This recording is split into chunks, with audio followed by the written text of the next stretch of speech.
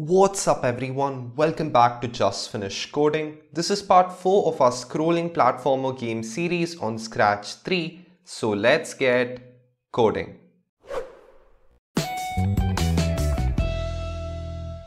Just finished coding.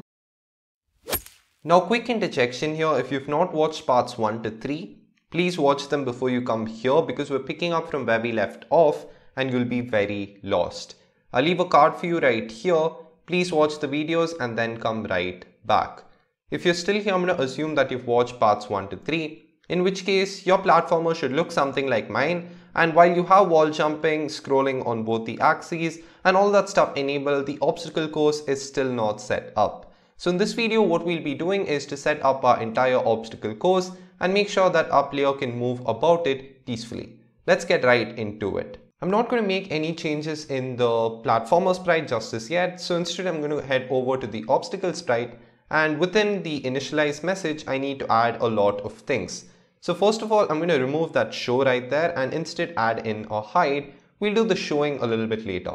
So after you are hiding this, it's important to know that the obstacle has a bunch of costumes which we haven't loaded yet. So now I'm going to head over to costumes and then within choose a costume, click upload a costume. Now, if you haven't downloaded all the files which are linked in the description below uh, as a Google Drive attachment, then please go ahead and do so. All the scratch files of every single video plus all the art that I'm going to be using will be linked right there. So once you've downloaded it, now you can click on upload costume and then you can upload all your sprites. There are eight of them in total and I'm going to open all of them at once. Now uh, I'm going to delete this first sprite because I don't really think I need it and the rest of them should be centered automatically. So um, let's proceed.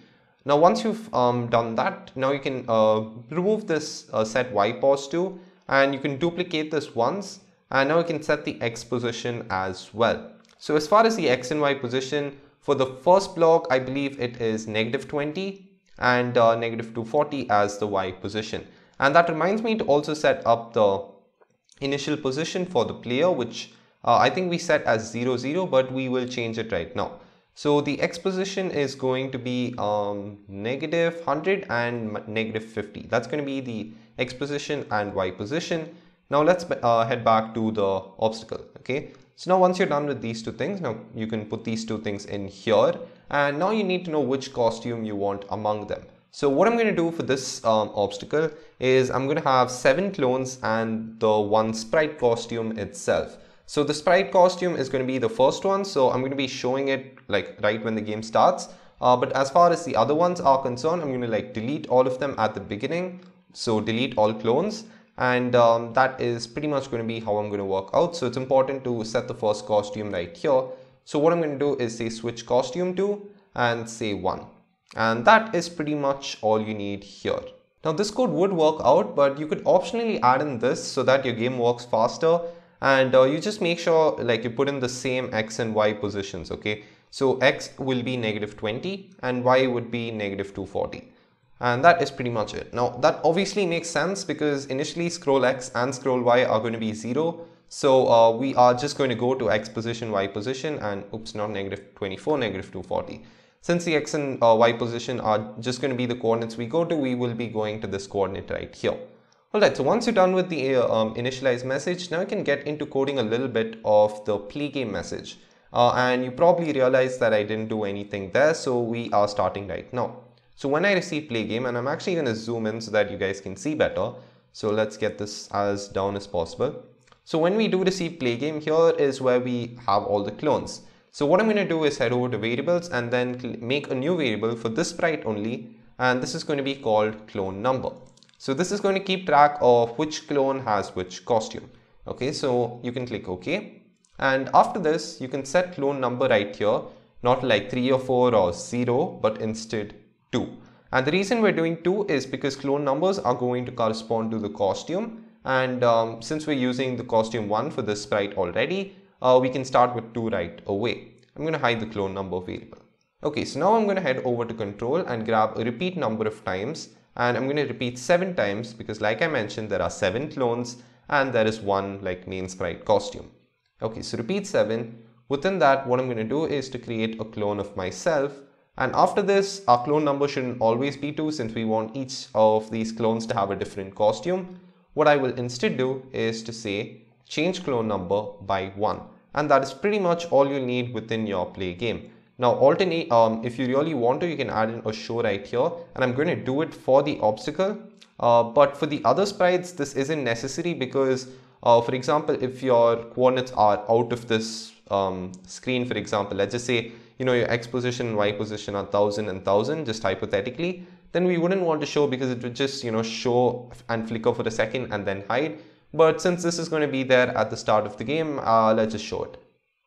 Alright, so once you're done with this, now we need to start with the when I, um, when I like start as a clone script. So I'm going to head over to control and head grab this block which says when I start as a clone. And after this, here's what you need to do. First add in a hide from the look section and this is because we don't want all the clones to be showing up right at the beginning and flickering. And the same reason I decided to add in a show right here. In case you know the clones aren't supposed to be in the starting of the game, then I'm going to make sure that they are hidden because if they show themselves, they're going to flicker and then hide and I don't really want that to happen. So after you hide, it is important to switch the costume to the correct costume and the correct costume in this case and I'm just uh, finding the block. Yep, there we go.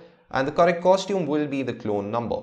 So after we're done with this, now we're just going to have a whole bunch of if else's to decide the particular costume and within each of the if else's uh, we will be having you know set x pos to something and set y pos to something else. And uh, to make this easier what you can do is to make your own block. So i'm going to click make a block and i'm uh, going to say go to uh, x comma y okay? And uh, i'm going to add in two inputs x and y all right so um, i think you can run without screen refresh. I don't think that would be a problem right here. And uh, after this you can just say within define set x pos to x and set y pos to y. And this is going to ensure that we can just enter in the two numbers rather than grabbing these two um, blocks of code all the time. So set x pos to x and set y pos to y.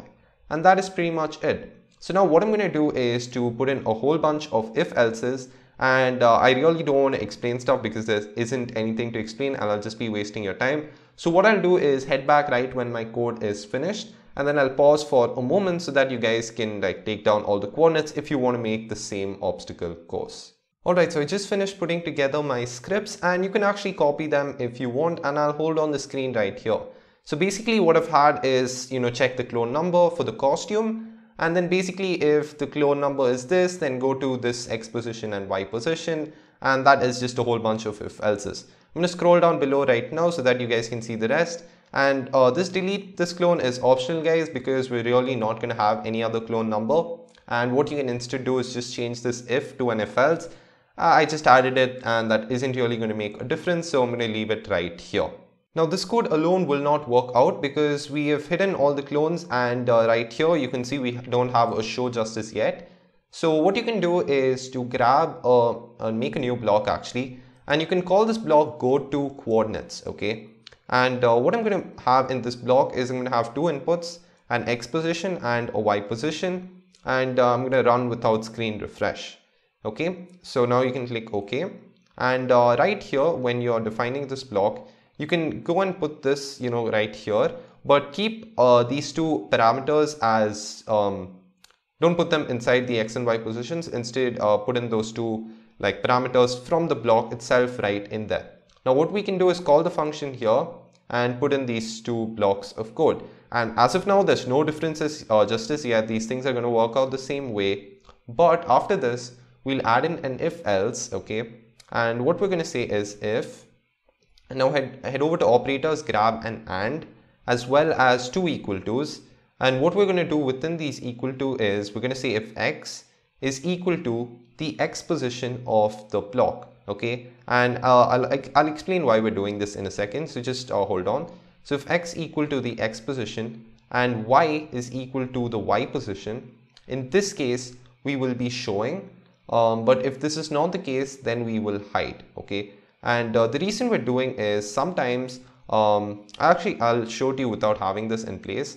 Um, but uh, okay let's just have this one block of code so we will have one costume right here and okay, we aren't even scrolling down. Never mind, I'll just add this in. What the problem is if is if you're scrolling, okay, to the right or to the left, then what's going to happen is the entire um, block is going to be seen even after it is it has moved out of the stage and that isn't really a good thing because the player is going to think the block is there while it's actually really really far away and the reason is scratch shows all the sprites and only moves them to a maximum uh, only moves them to like the maximum screen position where the tiniest pixel is shown even if they're not supposed to be in the screen at all. So uh, that's the reason. Just make sure you have this in place and you can call the function right here. Okay so now I'm going to test out the program. I'm going to click OK. And as you can see we didn't really have any real output. So I'm not entirely sure what the reason for this is. So I will check my code and then be right back Okay, so I just spent a while debugging this and the error turned out to be something so silly and so stupid and that's because I called in the wrong function right here and we need to say go to coordinates and not go to x and y. That's just for like starting the program. Alright, so now when we start the program, now you can see when we move about, you can see that we have our entire level and we can wall jump, we can do a lot of stuff and I'm actually going to play through a little bit to make sure everything is there and uh, boom. And as you can see, we can go up the slope and we can fall down pretty fast as well. And uh, we finally have the trampoline somewhere here before we get into the end uh, like the last platform before you know the game ends. And uh, what I'm going to do additionally in the platformer is to make sure that we have the initial position set up. So what I'm going to do is scroll up to where we had initialize and uh, I'm going to say go to and I don't entirely remember the coordinates that we had. It was one I believe was negative 100 and the other was negative 50. Um, yeah, x is negative 100 and y is negative 50. Basically the same thing that we did for the obstacle. So I'm going to have this in place.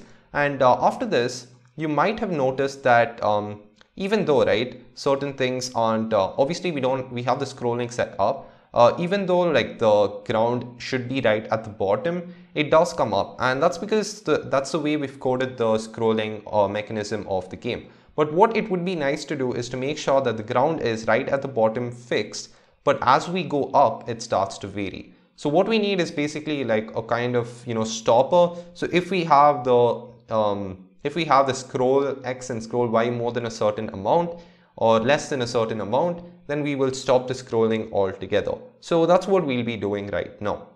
So scroll down below to where you have your main play game um, message and right here you can see we set scroll X to the X position and scroll Y to the Y position.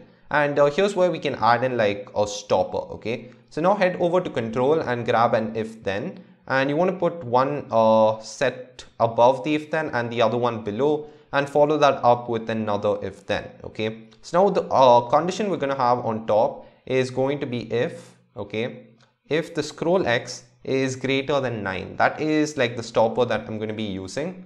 And uh, as far as scroll y is concerned, I'm going to be using if scroll y is less than not great. I'm not sure if I said greater than, I meant less than. Um, and if scroll y is less than uh, negative 80, then we will not be scrolling, okay? Uh, we, uh, you might initially be tempted to say set scroll x and scroll y to be 0, 0, but keep in mind that this scroll x and scroll y is initially 9. So if we set it back to 0, we're going to have some chaotic movement in the game. So what we need to do is make sure we set it back to this number which we're doing right here. So I'm going to set scroll x to be 9 and I'm going to set scroll y to be negative 80. So set scroll y to negative 80. Now you can throw in all these lines of code right here and put them within that uh, forever loop. And uh, if you're still wondering why we had this entire go to coordinates function, because you might think that uh, scroll x, I'll just scroll down, just hold on a sec. Yep, you might think that x position would always be equal to scroll x, at least here when we're just setting x position to be scroll x and I mean scroll x to be the x position and scroll y to be the y position, like why would we even have this code? And yep, the reason for that is because of this. So we are like stopping the scrolling after a certain point. And if we're not doing that, then you can probably just add go to whatever your initial position was. But since we're doing that, it's important we have this in place. So now I'm going to test my code and now you can see we have our course set up. Our game scrolls only when we need it to and that is pretty cool. And that is all you'll be coding in this video. If you've enjoyed this video, please make sure you leave a like and also don't forget to subscribe and turn on the notification bell. Thank you so much for watching and I'll see you in the next video.